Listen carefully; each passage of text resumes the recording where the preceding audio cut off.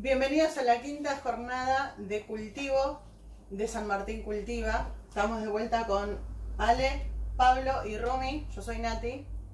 Eh, y bueno, vamos a arrancar con una jornada espectacular de cultivo, aclarando un poquitito también algunas cuestiones que quedaron ahí eh, de algunas otras jornadas pasadas, con cuestiones que nos fueron eh, trasladando las personas que están este, sumándose a, los talleres de San Martín Cultiva, así que los chicos nos van a ir contando, hoy vamos a hablar de eh, cosas súper importantes, que es de cannabinoides, eh, extracciones, formas de consumo, dosificación, muchísimo. Y buenísimo el material que los chicos tienen para brindarnos. Muchas gracias Nati, eh, nuevamente bienvenidos y bienvenidas a todas. Este, si bien es la última jornada, queremos que se queden tranquilos, vamos a seguir en comunicación, nuestras redes sociales están siempre abiertas para consultas, para cualquier necesidad, inquietud que tengan. Y bueno, esperamos hacer muchos más jornadas este, el año que viene. Exactamente, es el comienzo, no el final de nada. Este, y un poco eh, definiendo lo que fueron las jornadas pasadas, hay un poco de dudas, encontramos que hay mucha gente con dudas al respecto de lo que es eh, el porcentaje o los niveles de cannabinoides que tienen las flores. Eh, uno cuando habla de cannabinoides parece que uno se quiere marear. Hay que entender conceptualmente que una genética, las genéticas son las que determinan los tipos de cannabinoides que van a tener, va a tener esa planta. No podemos hacer eh, malabares genéticos ni nada, ninguna cuestión química para modificar el contenido de, de esos cannabinoides para que la gente este, no se marea, hay más de 50 cannabinoides, eh, un poco la búsqueda comercial, un poco la en sí, la naturaleza, determinó que los cannabinoides más presentes en las flores que hoy en día se encuentran es el THC y el CBD. Son como los dos grandes cannabinoides que vemos en todos lados. Conocidos. Ya sabemos que hay más de 50.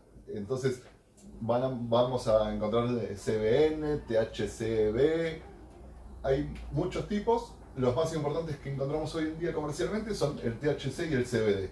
Ya vimos en jornadas pasadas que cada uno determina una actuación en el cuerpo eh, muy determinada, pero también tenemos que entender que esos mismos cannabinoides, cuando están en la planta en su estado natural en vida, esos cannabinoides son cannabinoides ácidos. Eh, se caracteriza por la sigla, en lugar del THC o CBD, es THCA. El A es casualmente lo que determina el ácido. Una vez que la planta se cortó, se secó, como vimos la jornada pasada, los 10 días a la semana, un porcentaje de esos cannabinoides ácidos ya se transforman en neutros o en básicos.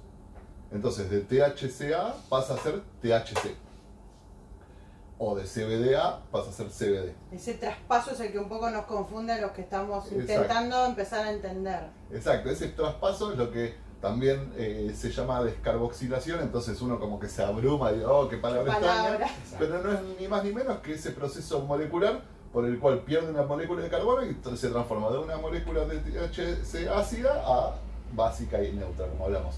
En el caso del THC, a su vez, se puede degradar esa molécula en CBN.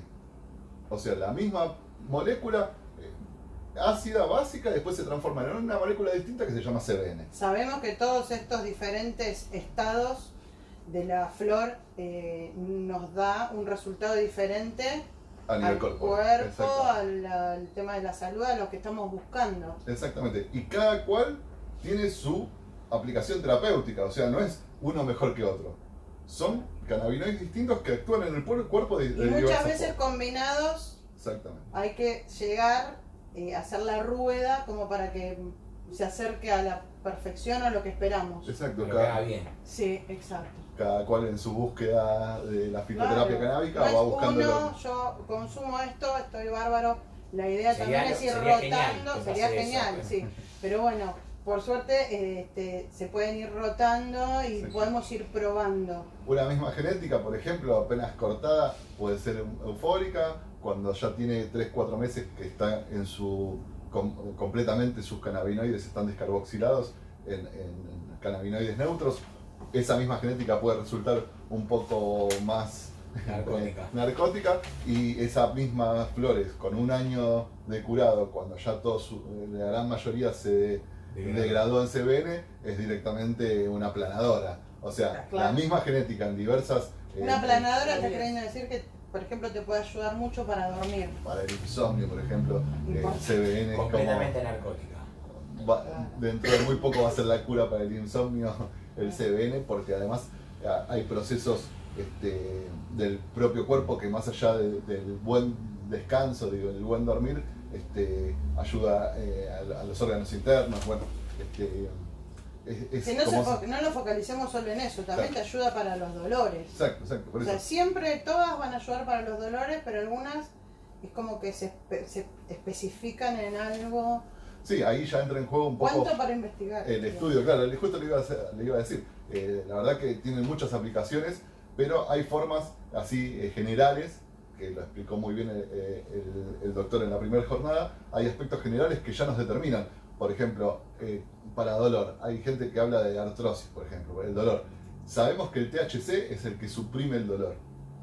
Pero a su vez el CBD, al ser un antiinflamatorio perfecto, combinados, como vos decías, THC y CBD, actúan desinflamando y quitando el dolor.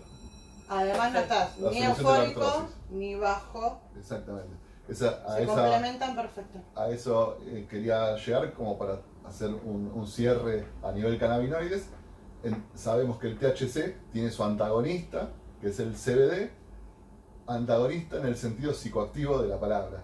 El THC sabemos que es psicoactivo, por, ende en dosis casualmente altas o medias que pueden traer psicoactividad, hay cierto resquemor en niños, por ejemplo, en dosificación de niños, o ancianos, o simplemente gente que eh, no está habituada, o simplemente que no le gusta e, ese, ese poder, efecto psicoactivo. Entonces tenemos el CBD, que es el antagonista que suprime ese poder psicoactivo. Entonces si nosotros conseguimos una genética que tenga las mismas proporciones del THC y del CBD, que se le dice uno a uno, proporción uno a uno, tenemos todos los beneficios terapéuticos de los dos cannabinoides sin eh, que sea psicoactivo. Para ningún lado esta es una pregunta que les quiero hacer hace rato. No sé por qué la tengo guardada, que lo tengo acá. Eh, eh, la 1-1 significa que tienen THC. Todas tienen THC, porque si yo quiero, por ejemplo, alguna genética que sea alta en CBD, no va a ser pura y exclusivamente CBD. Todas tienen THC. Hay genéticas, este, como hablábamos, todo eso lo determina las genéticas. Hoy en día ya se encuentran genéticas con valores de THC menores al 1%. Ya cuando se considera una genética con valor menor del 1% del THC, ya no se considera psicoactiva a, ese nivel. Pero muy bien tu o sea, se podría considerar pura CBD. Exacto. Se podría, así como hay este, genéticas africanas, por ejemplo, que son puro THC y tienen valores de CBD no solo menores al 1%, es valores de 0,02%, o sea, casi nulos. Entonces, podemos conseguir de, a partir de ese rango todo en el medio. Hoy en día el 80% de, de las genéticas que hay dando vueltas son híbridos, entonces es como decís, siempre vas a encontrar trazas de CBD o de THC en casi toda la genética, o el 80%. Tendrías que irte a rangos muy extremos para no encontrar... Yo tenía entendido que había muchas que son solo THC o que están consideradas súper psicoactivas.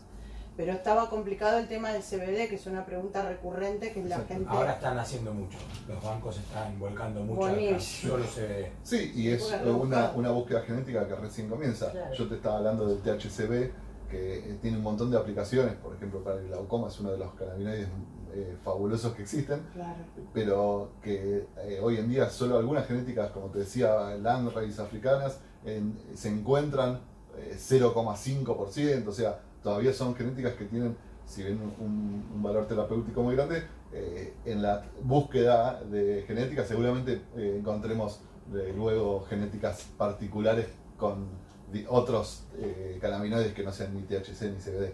Este, recién empieza y a nivel científico todavía se están estudiando todas las aplicaciones de los diversos cannabinoides. También ahora vamos a hablar un poquito de extracciones, pero Hoy en día también ya la tecnología de extracciones está permitiendo aislar esos cannabinoides Entonces, el resultado de una extracción sí podés tener cannabinoides puros de un cannabinoide sin que tenga trazas de ningún otro. Claro. ¿sí? Lo buenísimo es que de todo esto después, o sea, esta es la última jornada de cultivo que tenemos, pero vamos a seguir con talleres y con videos y con un montón de cosas. Esto recién arranca. Exacto. Nosotros, Es como un pa- todos estos talleres son un pantallazo de la que se viene. sí, nosotros General, ¿no? le, eh, le- le comentábamos, bueno, la gente sabe, eh, es- estas jornadas nosotros las habíamos planificado para todo un año. Exacto. Entonces lo que estábamos por dar en todo un año de laburo, lo Se estamos dando en cinco jornadas gracias a- al, al COVID. Pero indudablemente por eso nosotros planteamos que el entendimiento conceptual, de hecho ahora podríamos haber hecho algunas, podríamos hacer alguna extracción en vivo, pero eh, sería un- eh, demasiado largo la jornada y no tendría mucho sentido, porque si uno entiende conceptualmente lo que está haciendo, después cada cual, eh, acorde a sus propias Necesidades, o- Vamos a mostrar videos en vivo de diferentes tipos de extracciones. Exacto, Exacto. después vamos a, a- a hacer este, bonus tracks de, de extracciones y de todo, de, de- de cocina, de lo que sea. Los tipos de consumo está buenísimo. Este, Para, para ir aclarando un poco. Sí, eh, cerrando un poco la idea de los cannabinoides, tenemos que entender que en la planta estos cannabinoides se encuentran en los tricomas, que son esas glándulas que Como exuda la planta, Que esas gotitas que también vimos la, la La jornada pa- pasada, que eh, dentro de esas glándulas está donde se concentran eh, todos estos cannabinoides que hablamos. Entonces, para ciertos tipos de consumo, esos cannabinoides se pueden extraer de la planta sin necesidad de tener la materia vegetal como sí. ¿no? Vamos a hablar un poquito de los tipos de consumo. El que la gente más conoce es el- las flores picadas en un cigarrillo y fumadas, aspiradas mediante eh, la combustión de esa materia combustión de vegetal. materia vegetal. Que ahí se produce directamente la descarboxilación. Eh, no hace falta descarboxilar previamente. Exactamente. La descarboxilación, como hablábamos, es un proceso en el que se da naturalmente, pero por condiciones, por ejemplo, de calor, esa, esa ruptura de ese anillo de carbono se hace Sí, automáticamente por calor. Seguramente pasemos acá atrás nuestro un gráfico muy claro de, eh, la cantidad de tiempo que debería pasar eh, para que una flor se descarboxile naturalmente, pero también eh, las condiciones de temperatura y tiempo para que esa descarboxilación se dé de forma natural. Eh, digo, se dé de forma eh, química a través de procesos, por ejemplo, del calor. Cuando uno lo enciende a- al cigarrillo, eh, la llama está a 300 grados, entonces se produce de forma automática. Claro. Casualmente, esta forma de consumo, al combustionar, el 60% de los cannabinoides se evaporan, Se pierde. ¿sí? se pierden. Entonces uno consume solo un 40% de los cannabinoides que tiene ese cigarrillo de marihuana. Eso es a nivel combustión. Después tenemos lo que es la vaporización. Exacto. Es el mismo concepto de combustión, si querés decirlo, o por calor, arrastre por calor de esos No tricomas es directo, glandulares. no es directo, no es eh, un calor directo como la combustión. Lo que hace es, mm, perdón. Sí, sí, calienta sí. una cazoleta de cerámica, en algunos de los casos, y lo que hace es que el calor de la cazoleta calienta lo que es la hierba y como que las, la va secando, no la termina de degradar como ceniza, pero queda como si fuese orégano seco, algo por el estilo. Quebradizo. Exacto, con un aroma a, a- ahumado, se siente de, de hecho un aroma rico. Porque Bueno, no nos evapora tan automáticamente. lo que hace es no, porque por lo general lo que es consumo con un vaporizador se setea la temperatura.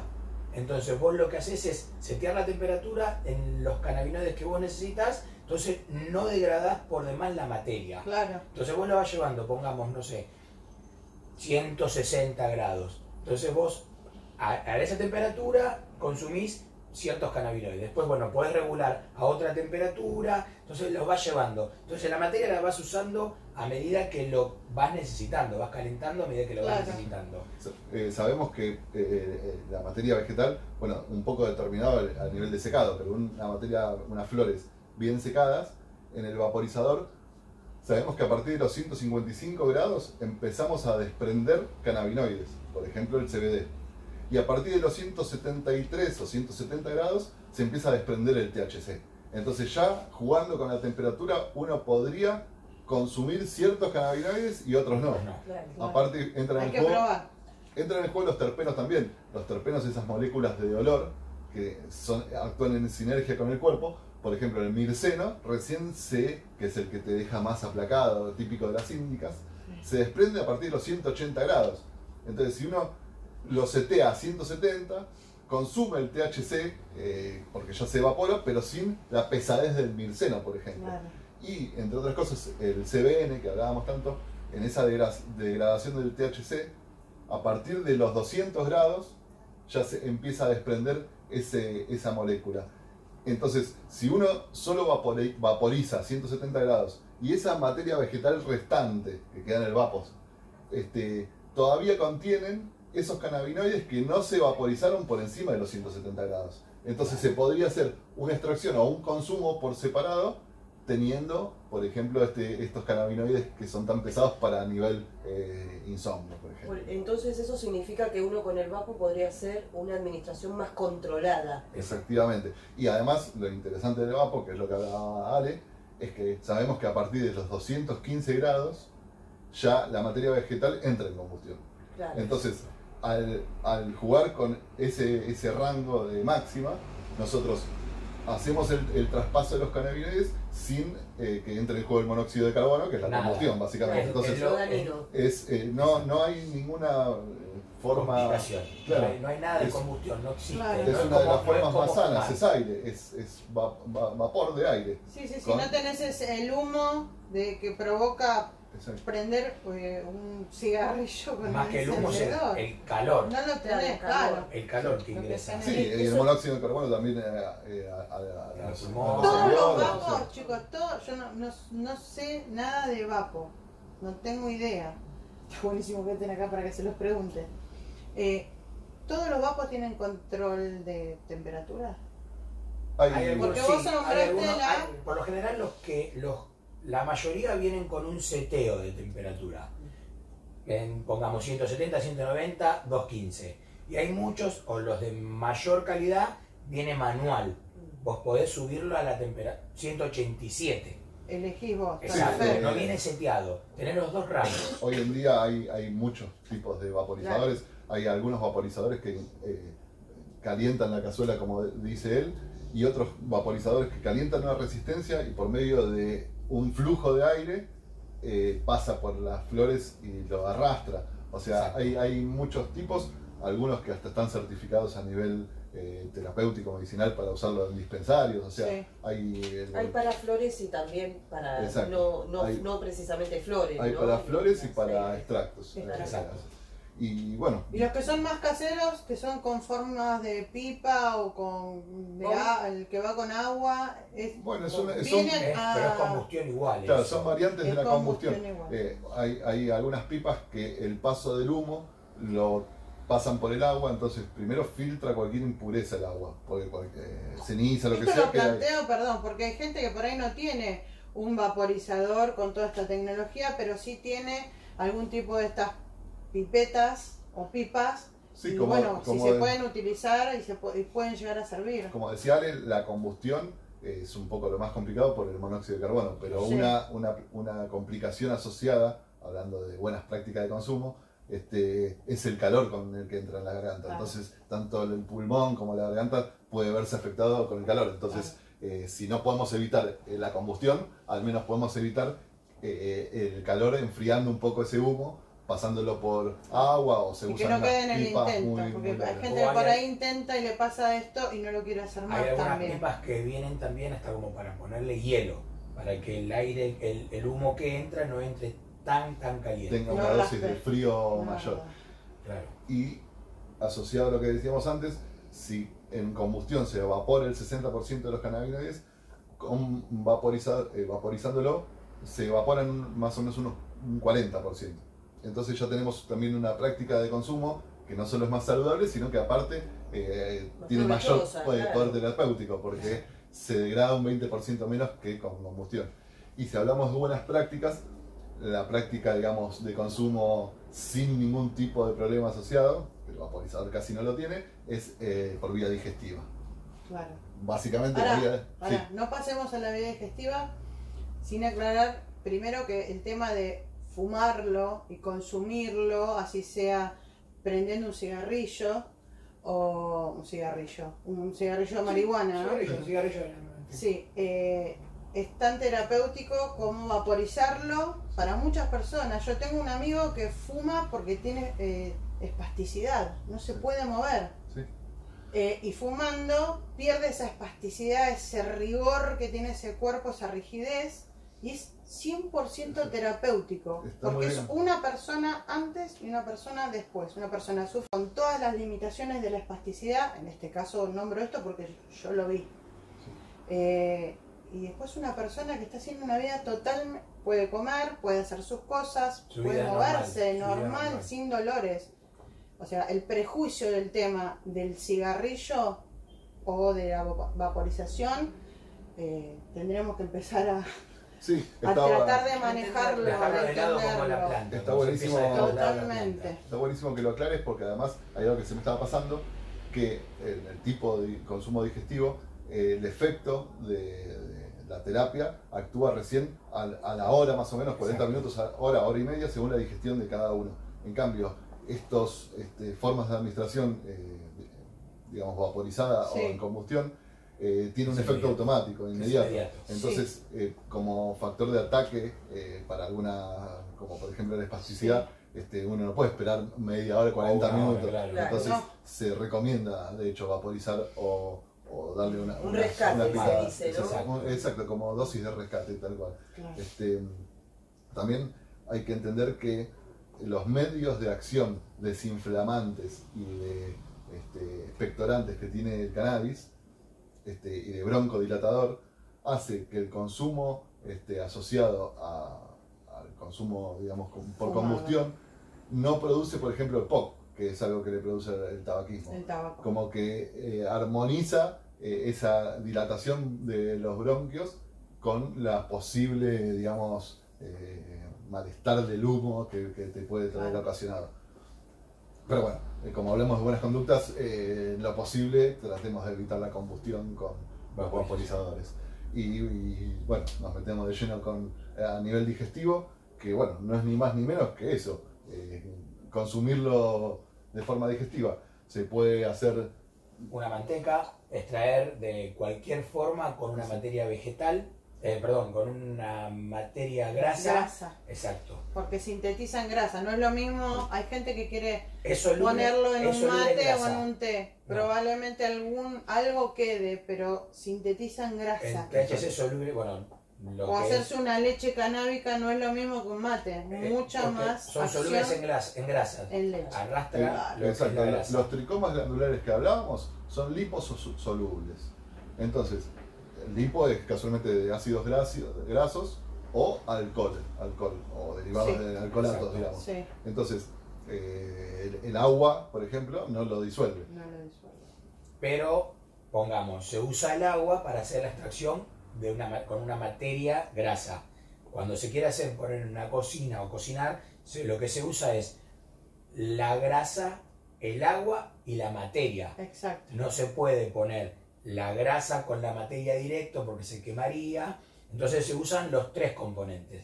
Después se separa, se hace la división porque la grasa y el agua no, Se no unen. no se unen, pero Sí, en realidad ya nos tendríamos que meter de lleno en lo que serían las extracciones, que Sí. a eso íbamos. La, a nivel No, digestivo. pero está bueno la aclaración que dice Ale. Yo, por ejemplo, hago la, la crema canábica, ponele con el aceite de coco, la materia vegetal y el agua. Y hay gente que dice, yo lo pongo directo a baño María sin agua. No, el agua es para algo, para que no se queme, porque por más bajo que lo pongas, necesita que el agua lo estabilice en un punto, a la temperatura. Aunque sea más largo el proceso, haya que congelar, y Es que- descongelar. es que el proceso es largo para todo. Hasta es como Pero hablábamos todo- las como ¿eh? hablábamos las jornadas pasadas. Si esperaste nueve meses o siete, ocho, no, No la vas a vas a esperar una semana más o diez días más por algo para hacer Claro. algo Bien, como claro. tiene que Sí, hacer. en realidad, eh, cuando entendamos a nivel conceptual de lo que estamos haciendo, eh, después cada cual va a tener sus Sí, métodos sí, sí, propios y en el, en el hacer uno se da cuenta. A ver, esos tricomas glandulares que hablábamos de la materia vegetal, nosotros eh, la intención cuando hacemos una extracción es quitar toda esa materia vegetal para dejar el- la pureza de esos tricomas glandulares de la mejor forma posible. Hay dos grandes ramas en- en- a nivel extracción, que es los que utilizan algún tipo de solvente Solvente. y los que no utilizan eh, ningún tipo de solvente, por lo general es por arrastre se llama. O sea, con solvente o por arrastre. Obviamente que la utilización de solventes es algo peligroso, de manipular digo, Sí. y peligroso en el sentido de- del consumo, Consumo. posterior, que debería, debe estar bien hecho para que no sea nocivo. De Sí. manipular, decís, en el proceso de quemado por el Exacto. fuego. Podés desde explotar hasta tener una Sí, reacción fuego. mala en el estómago por tener trazas de, Claro. de alcohol Claro. o usar un alcohol que no es conveniente, que no sea apto claro, para el claro. consumo humano. Claro. Retrotrayendo, de- tenemos estas dos grandes ramas. Si uno queremos, si queremos hacer la extracción sin solvente, quiero eh, de nuevo, perdón que insista con esto, Sí. son modos conceptuales de hacerlo. Después cada cual Sí, podrá ver eh, diversas inter- formas, interiorizarse interiorizarse cada forma, cada Vamos a hacer talleres para mostrar las diversas formas, pero yo pretendemos que entiendan el concepto. Sí. Entonces, vamos a retrotraernos a, a Marruecos, por ejemplo. Y- y, eh, generaciones y generaciones de cultivadores familiares. En su momento, ellos tenían una forma muy tradicional que se llama el charas, que no es ni más ni menos que agarrar el cogollo, frotarlo así con la mano, y cualquiera que tocó un cogollo te das cuenta que te queda pegoteado. Bueno, todo ese, ese pegote es la resina de esas tricomas glandulares que se desprendieron y quedaron en la mano. Entonces, con la mano llena de esa resina, se la sacan así, hacen unas bolitas y ese es el charas. Es un hash que por la manipulación que tiene se va degradando un poco entre las manos, Con se amasa y tiene, digamos, en ese proceso, ¿Cómo imaginen quedan esas manos?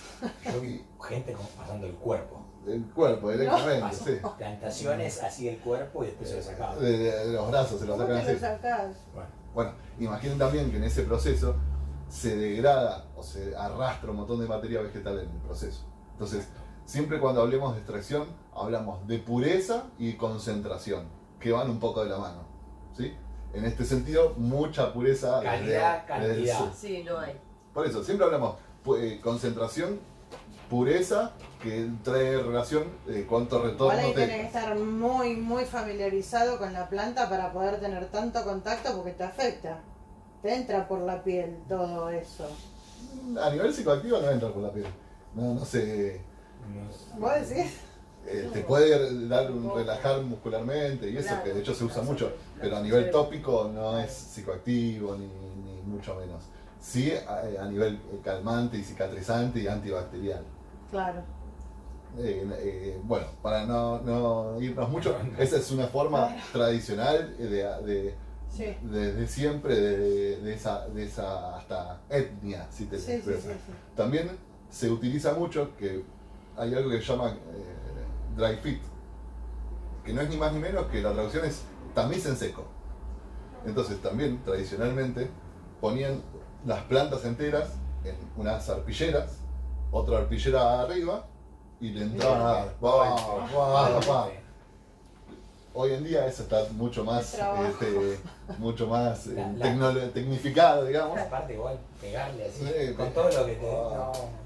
La cuestión es que ese tamiz casualmente hacía que por debajo de la arpillera caigan Arpillera. los tricomas esos glandulares que tienen un- una forma de polvo, digamos.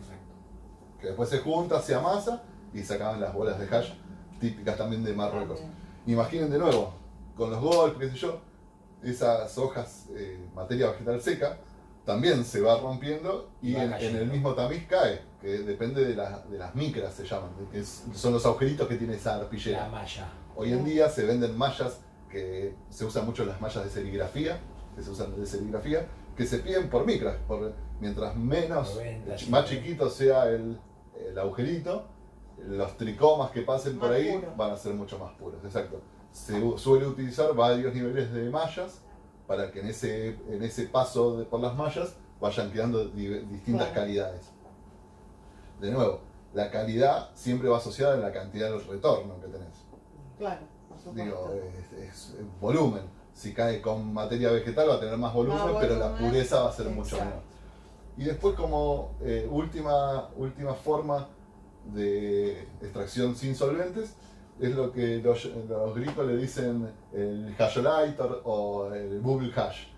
Que no es ni más ni menos que esas mismas mallas también, ponerlas en un balde con agua. Esa agua se le suele agregar hielo Hielo. porque tiene que estar muy fría. Y siempre, en toda extracción que hagamos, ya sea con solvente o sin solvente, lo ideal es que la materia vegetal esté frisada Congelada. congelada, porque no es ni más ni menos que de nuevo una cuestión física de arrastre. Un tricoma que está congelado, ¡pic! se cae. En cambio, un tricoma que está en vida, digamos, se quiere pegar. Sí, Imaginen sí, que sí. hasta las lluvias de una tormenta no arrastra. Bueno, Claro. más allá de que no es liposoluble, eh, quedan pegadas a, a Este- la materia vegetal. Esto es lo que está hablando él. Se venden, de hecho, tipo para poner arriba de una mesa, un lavarropa. Claro, como, un coiner. Es como un, como un lavarropa de los, de los viejos, de los tambores. Entonces se pone la materia vegetal, el agua ahí y está.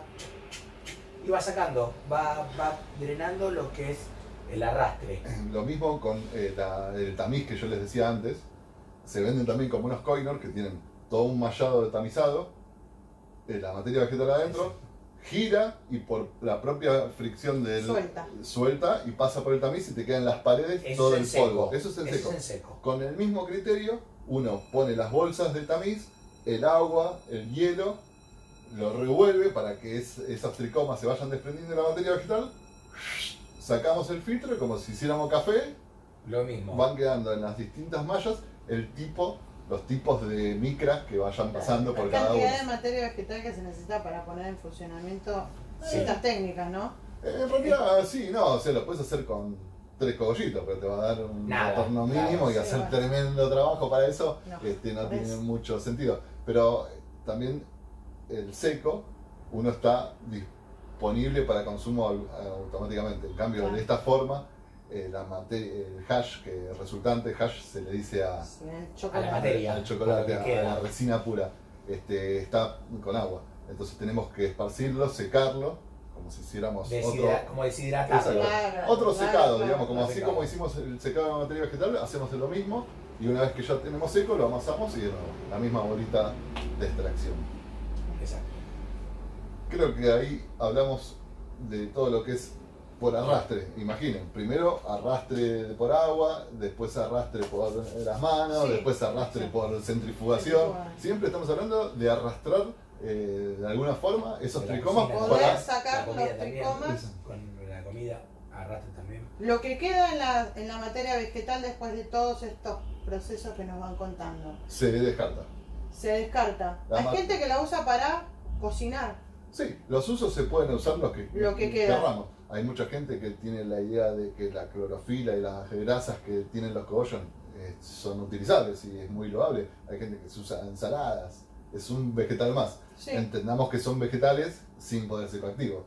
Porque se los está. quitamos todos. molerlo, molerlo y ponerlo en tu harina y tener tu harina canábica. Exacto. Que por ahí no tiene ni la psicoactividad ni el bajón del CBD, pero Pero- sí tiene esta cosa de calmar algún dolor, Otras propiedades. otras Ade- propiedades. Además, eh, nos- eh, hay una, una forma más que me estaba olvidando, Sí. que se llama el rosin, que ahora está muy Ahí de está. moda. Mm. El rosin no es ni más ni menos que con una prensa con calor, eh, con, Presión el, y calor. con el calor los tricomas glandulares se vuelven líquidos. Claro.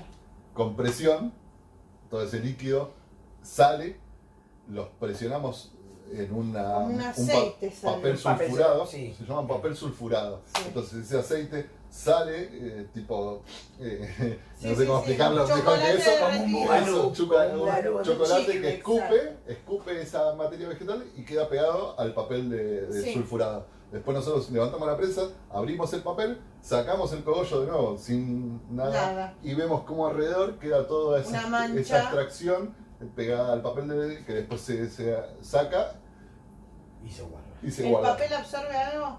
No. No, no, por eso es sulfurado, es como el papel manteca, que no Claro. queda nada pegado. Eh, antes, en tiempos remotos, con una planchita de pelo, así Sí. empezó, y papel manteca, bueno, un desastre. bueno, se ponía el cogollo, se apretaba como podías. Y se acaba. Hoy, en- eh, en, en su momento se, a- poca presión porque lo hacías con la mano, o te parabas encima de la planchita Sí, sí. y con mucho calor. Hoy Con en día, plancha de planchar también. plancha de planchar también. Hoy en día se modificó un poco el criterio conceptual y se utiliza mucha fuerza, calculan 5 toneladas más o menos, de 5 a 10, A o sea, 15. así, una locura. No, De nuevo, mientras más tonelada, también por ahí eh, destruís un poco la materia vegetal, entonces eh, más impurezas. Claro. Entonces siempre es jugar con eso. Y con el eh, calor. Antes se usaba mucho, ahora es menos calor, 90 grados suponete, y, Y más- mucha más presión. Y más prolongado el Y tiempo. más tiempo de... ojo ahí con el calor que ahí ya va cambiando. De Por vuelta eso, volvemos al por principio eso se la usan charla. 90 grados. Si vos en la plancheta de pelo tenías 140, 150, ya estabas Ya degradando cosas. claro. Lo último para hablar de las eh, digamos, técnicas sin eh, solventes es que de esa forma uno guarda dentro de esos tricomas glandulares lo que son los aceites esenciales grasos, los terpenos y los flavonoides. Eh, bueno, según cómo lo- lo- las técnicas que utilicen, se quedan más o menos cantidad de esas moléculas de olor y de, de gusto Sí. que son tan característicos de, de este tipo de extracciones. O sea, lo que uno busca también con este tipo de cosas es, que no se pierdan esas cualidades terapéuticas de los aromas y de los, de los sabores. Porque, ya entrando un poco en el- las extracciones con solventes, los solventes por la polaridad que tienen eh, molecular, hace que el paso de la materia vegetal por allí haga perder la gran mayoría de terpenos y de flavonoides. Quedan solo los equiterpenos, pero bueno, Sí. digo, como resultado de la extracción puede ser mucho menos este, completa si uno estima la relación sinérgica de los terpenos y de los flavonoides con el tratamiento. Este, de la otra forma, solo tenemos la pureza de los cannabinoides, que obviamente es el gran mayor poder terapéutico, pero no es un aceite tan completo a nivel Claro. este, bueno, molecular y ¿Cómo demás. lograr la optimización de que todo esto se pueda mantener en nuestra nuestro producto al Claro. final, después del el, el Sí, y de nuevo, tratamiento que eh, usemos? cada uno después verá cuál es su mejor concepción de lo que mejor le hace. Eh, hay gente que... eh, Sí, que le funciona un aceite, hay gente que le funciona vaporizar, hay gente que le funciona fumar, hay gente que le funciona el rocín. Exacto. O simplemente le funciona los cannabinoides sin la sinergia esa del limonelo que te da más euforia o claro. del mirceno que hablábamos de que te baje. te baja. Si vos tenés una genética alta en CBD, te vas a caer igual, Claro. sin necesidad de ese, de ese eh, terpeno. Y, y bueno, eh, entonces hablamos de los que de las extracciones con alcohol. No es ni más ni menos en todos los métodos que en lugar de hacer por arrastre, se utiliza la disolución de esos tricomas en ese medio. Hablamos de manteca antes. La Sí. manteca o cualquier medio graso, si uno este, cocina básicamente los cogollos en ese medio graso, de alguna forma los tricomas se van disolviendo en esa materia grasa, después uno filtrando la materia vegetal, te queda ese medio graso con todos los tricomas glandulares dando vueltas, o sea, con todos los y cannabinoides. una manteca saborizada súper terapéutica. Entendamos que Filtrada. al cocinarlo, nunca debemos superar los 140 grados, que es lo que hablábamos cuando ya se empiezan a eh, Perder. perder los cannabinoides. Y si te pones más fino con eso de los terpenos también hablando, a partir de los 60 grados ya se empiezan a perder todos los, eh, empiezan a perder los terpenos. Claro. Entonces, si uno va haciendo una con materia grasa, con solo disolverlo a 40 grados la manteca y ir llevándolo, cuando que vos hablabas de la necesidad del agua, Sí. entonces ahí podés evitar tener agua. Mucha gente, como lo hace a baño María, le agrega agua para que en esa eh, nunca supere los 100 grados Claro, exacto. con- agregándole agua, sabés que no supera los 100 grados, entonces antes de eso se evapora.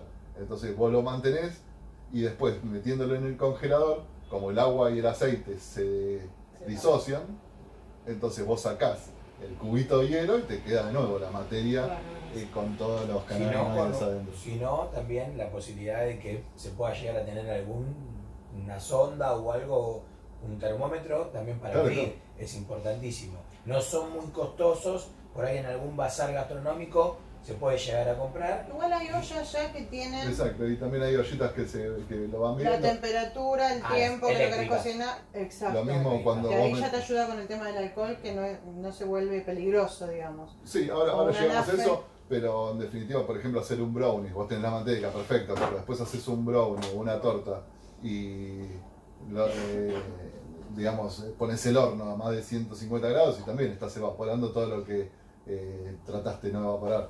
Claro. ¿eh? Entonces, bueno, eh, se, se va dando así lo que es la materia grasa, hay que tener esa precaución, porque de alguna forma ahí no estamos usando alcoholes ni benzina, ni, Sí. pero Nada inflamable. es, es- es- se actúa por disolución. Primero di- diluye los tricomas y después lo tenemos en esa materia grasa.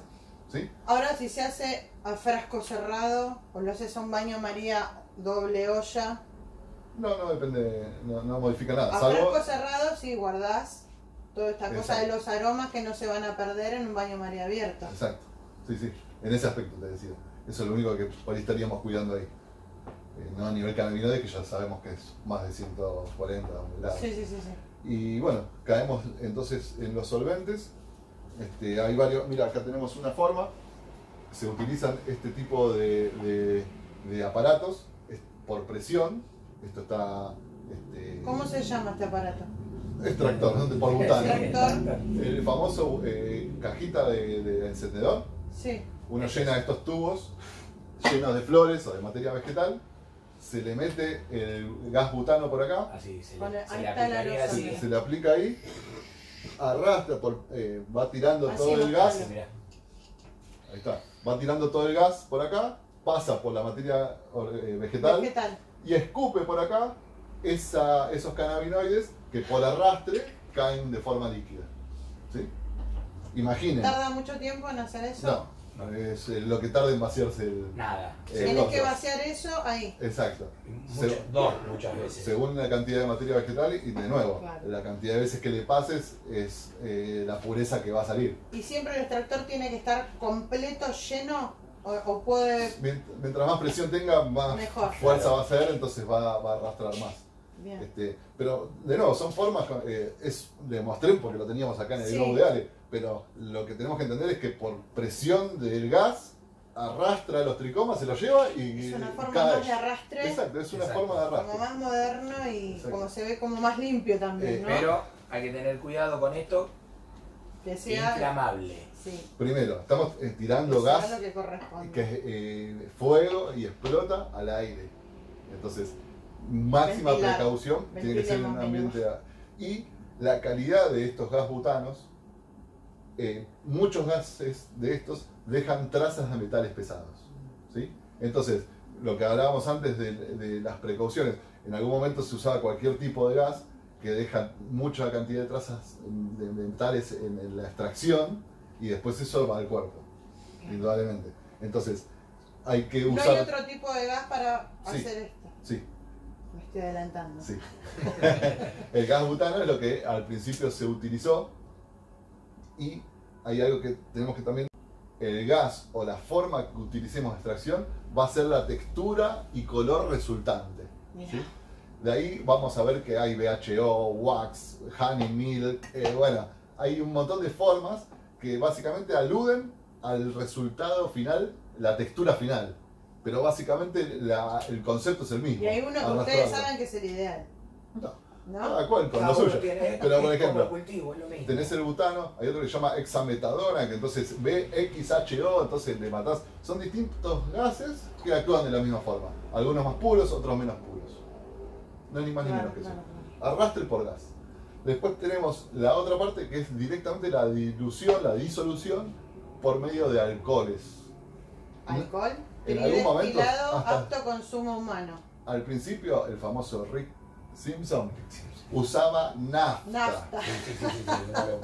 ¿Te imaginas? Por suerte todos Más avanzamos. imposible. Entonces pasamos de la nafta al etanol, del etanol al alcohol, del alcohol al isopropílico. Entonces, de nuevo, siempre lo ideal es apto consumo humano. Entonces usamos al tridestilado de cereal, El por que se usa para hacer un limoncello, por Exacto. ejemplo. El mismo que se utiliza para las bebidas alcohólicas es el que usamos que tienen una graduación del 96% más o menos, y eh, son aptos para consumo humano, o sea, no tienen agregados eh, por fuera para que no se puedan consumir. La- las Claro. farmacias, el alcohol de farmacias tienen agregados y además dejan trazas también de metales pesados, no se utiliza. Tiene que decir básicamente Te en puede la afectar botella. a la salud. Exacto. Tiene que decir en la botella, tiene que decir apto consumo humano. Exacto.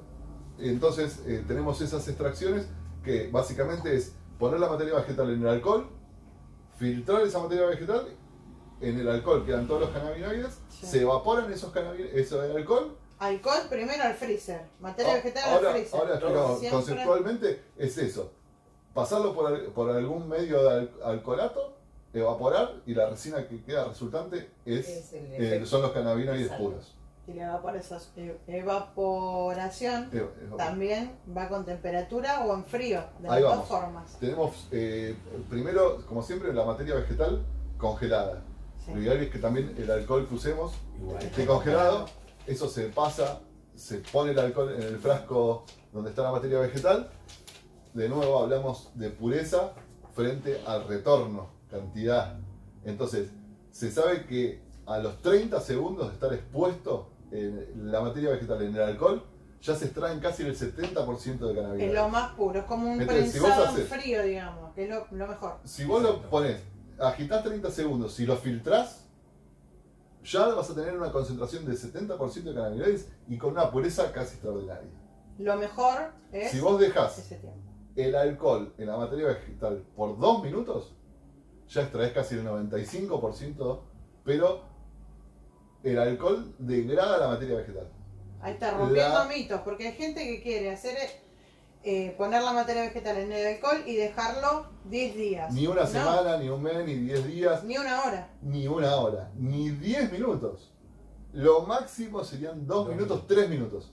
Si alguien se quiere asegurar de ese remanente que le quede, pues estamos hablando del 70, 80, 95, hagan primero una pureza extraordinaria de un minuto y hagan una segunda pasada por alcohol, nuevamente, de otros dos minutos y van a tener un extracto de menor calidad Y el y primero que- ya se aseguran de que no, no les quedó nada. Entonces, Claro. en esa, esa primera extracción es plenamente terapéutica y puedo, la, la otra también, pero digo, de consumo concreto, y la otra se puede utilizar para cremas, para mismo la- la- las comidas. eh, ahí también eh, va, varía el tipo de consumo, no es lo mismo eh, los ácidos eh, gástricos eh, de- en el consumo que un- los pulmones, los, los Ah. débiles pulmones. Entonces, si vos vas a fumar un extracto o consumirlo de forma digestiva, no es lo mismo la pureza que deberías tener. Claro. Eh, y si hablamos de en cuanto a ca- casualmente pureza terapéutica, siempre buscamos lo mejor. Hay gente que busca, por ejemplo, tener una extracción para algunos dolores. Hay gente que dice, me duele la cervical, como que no son patologías, digamos, eh, gravísimas. Y esta segunda extracción puede servir perfectamente para eso. Sin duda. Y además, eh, muchos a- a- eh, no le importan ese, ese extra de materia vegetal o ácidos grasos. Claro. Entonces, si a vos eso no te importa en cuanto a calidad de, consumo, si querés ponerlo 10 minutos, Claro. Eh, yo eh, hablo a nivel conceptual de entender que los cannabinoides se degradan en al minuto y medio, dos minutos. No estés más porque no, no sirve de Minuto nada. y medio sería para sacar lo mejor de las flores. Sí, y dos vueltas. Tenés dos pasadas, sabés que la segunda pasada vas a Las traer lo que no, no, Lo que no no pasaste la arrastraste. primera. Y cerrando un poco, porque ya se nos va el tiempo, la última, que no hablamos ni de extracción, ni que son los macerados. O sea, No es ni más ni menos que meter los cogollos en aceite, por ejemplo, o en ese medio graso, y dejarlo que la dis- dilución sea por el tiempo de exposición que estuvo en ese va a ser aceite. aceite de oliva, aceite de coco. Aceite de coco, aceite de oliva, cualquier aceite, glicerina, lo que sea. Entonces, sabemos que más o menos a los 5 días de estar en un lugar cerrado, eh, eh, en ese medio graso, los cannabinoides se diluyen. De nuevo, no lo dejen un mes, no lo dejen dos meses, los cogollos en el aceite se pudren, Exacto. es materia vegetal que se va descomponiendo. Entonces, una vez que pasaron esos 5 días, los filtramos y tenemos un aceite pleno de Hasta cannabinoides. 5 días lo podemos tener macerando. Sí, de hecho puedes poner el aceite en la heladera, lo único que va a hacer es se va a solidificar un poco, no, no, no tenés El Si de coco, deja- por ejemplo, que se vuelve manteca en el frío, eso está bueno que decís. el- Yo lo puedo meter en la heladera igual con la materia vegetal y va a seguir extrayendo por es- esos cinco días. yo no lo dejaría. Yo No, no es tampoco. lo ideal. No es lo ideal porque eh, la mate- eh, en el frío es como que. eh, se, de pa- hecho, se paraliza. Exacto. Hasta si vos querés hacer un, un buen eh, macerado, lo ideal sería ni siquiera esperar esos 5 días, sino que ese macerado, ponerlo a temperatura más o menos 40 a 45 grados por dos horas agitándolo, y ahí te aseguras que ya va a impregnarse y va a soltar esos cannabinoides en esa materia grasa, después filtrás y de nuevo tenés el café. Lo bancamos afuera, ya que en la heladera se va a solidificar. El Sí, coco no lo metamos en la esas- heladera. Esas dos horas que dice ahí ya están. La materia vegetal la separás, Sí, la apartás. El aceite de oliva también se solidifica un Claro. poco en, Un en la poco, heladera. un poco Sí, menos, sí. pero también se Y lo último, como para cerrar, todas estas extracciones que hablamos se pueden hacer con la planta eh, también eh, viva, digo viva, apenas cortada. Hay algo que se llama live resin o fresh eh, resin o fresh hash, lo que sea, Sí. que no es ni más, ni más ni menos que hacer cualquier proceso de extracción o dilución con la planta apenas cortada. Verde. Entonces vos tenés Sí. un extracto Ácido. con todos los cannabinoides ácidos, a diferencia de como hablábamos, si lo haces después. Y si vos tenés cannabinoides ácidos, por medio de estas este, formas de exposición a la temperatura que hablábamos antes, uno puede, puede descarboxilar ese, esas, es- esos cannabinoides que tenemos en su forma ácida. Entonces, quizás para hasta iniciar un tratamiento que no sabemos bien cuál nos viene mejor, lo iniciamos de forma ácida, después lo podemos descarboxilar para ver cómo Lo va. vamos transformando según Claro. vemos el resultado. Exactamente. Y creo que ahí tenemos un panorama bastante... Una cosa que me gustaría ver, no sé si en este taller o en los próximos que vendrán seguramente, es el tema de eh, la evaporación, materia vegetal, alcohol, colarlo, por supuesto, filtrarlo como corresponde al freezer. Sí, hay... No le estamos dando calor y no lo estamos dejando con ventilador. Directamente al freezer. Sí, No sé si lo querés hablar ahora o lo dejamos para más Eh, adelante. ya se nos va el tiempo porque esta jornada es más un poquito más cortita, porque se nos viene después eh, un conversatorio, pero la idea es que el alcohol se evapora a temperatura ambiente y hasta en temperaturas más bajas que el ambiente, según eh, lo que tengamos. Entonces, esa evaporación con el alcohol la podemos hacer con eh, calor para acelerar ese proceso, lo podemos hacer a- al medio ambiente, que también se evapora, y lo podemos hacer en frío, que también eh, hay... ¿Eso evapora más rápido en el freezer? Eh, no. ¿Rompiendo mitos? No. No, no, no. Ok, bueno. Eh, puede hasta tardar más si querés, Ah. según el, el tipo de freezer que tengas. Pero el- eh, la evaporación y la textura final que va a tener esa resina es de una pureza mayor si lo haces en el freezer. Ah, bueno, viste, alguna diferencia yo sabía que había, pero no, no Sí, identificaba después cuál eh, era. es lindo jugar con las, este, eh, las- los tipos de resina, las texturas que tienen, porque ese... eh, Cambian los colores, Y de claro, es una, una cosa purísima blanca, está el honey, el honey que es eh, miel, por eso... Hay uno que es como un dulce de leche, Exacto. un chocolate medio verdoso. Este, y, y- y muchas formas que me olvidé de decirlo antes de extracción con alcohol y butano y, di- diversos alcoholatos ah, se hace un proceso con una bomba de vacío el cual evapora hasta las últimas impurezas y alcoholes que pueda tener esa resina porque actúa con presiones distintas por eso bomba de presión entonces eh, hacemos un, un extracto de puro y que muy poca, no hay muchas bombas de presión dando Sí. vuelta, como por eso se dejó de, de hacer lo que es esta, esta- esta extracción, que es con eso. Porque indudablemente siempre terminás consumiendo algo de alcoholes o algo de por ahí Sí, las trazas que, impurezas que no que quedan. Exacto. Exacto. Y después, como para finalizar en sí la jornada, está la extracción supercrítica, que ya se hace a nivel laboratorios, que también es por arrastre, pero no usas ni alcoholes, ni agua, ni nada por el estilo, sino que usas hidrógeno. Entonces, este, es eh, una pureza fabulosa, no tiene esa polaridad, entonces también arrastras terpenos y flavonoides y lográs, eh, cualquier extracto tiene eh, una pérdida. En este caso, eh, casi lográs purezas del 95%, o sea, lo una óptimo, locura. óptimo. Este, porque actúas con presiones eh, Sí. distintas y con temperaturas distintas, y hasta podés, en ese pasaje supercrítico, podés hasta determinar qué cannabinoides querés sacar. una locura, pero que no está al alcance de nuestro, así que mejor. Bueno, con una gran necesidad de esto, ¿no? De invertir en investigación, de que hay un gran potencial para que eh, esto se siga avanzando y que necesitamos que el país este, investigue, ¿no? Sí, y ponga sí, servicio laboratorios para hacer esto de mayor pureza. Exacto, y después eh, habría que hacer algunos cálculos en cuanto a consumo, porque dijimos que por ahí una dosis media para dos personas sería un cigarrillo que se establece un poco así. Si entendemos que un cigarrillo de marihuana tiene un gramo y ese gramo tiene esos 15% de, de THC que por lo general hablamos en las jornadas pasadas de, de que te dan esos parámetros, o mismo si uno lo midió en un cromatógrafo de gases, una cromatografía líquida, vos podés saber cuántos miligramos tiene esas flores que vos tenés. Por lo general, por decirle 15%, vos sabés que en un gramo tenés 150 miligramos. La dosis media que se considera para un adulto son 15 miligramos. Entonces vos sabrías que si tenés esos 150 miligramos y haces, por ejemplo, una extracción, que vos perdés el 60% o el 40%, ya sabés que de esos 150 te quedan 80, ¿no? Y según el tipo de consumo aparte, digestivo, perdés otros 40, ya te quedan solo un 40%, un 40 miligramos de esos 150 Vamos de base. Y si esos 40 miligramos vos lo, haces una extracción, vos sabés que los mismos 40 los tenés en esa extracción.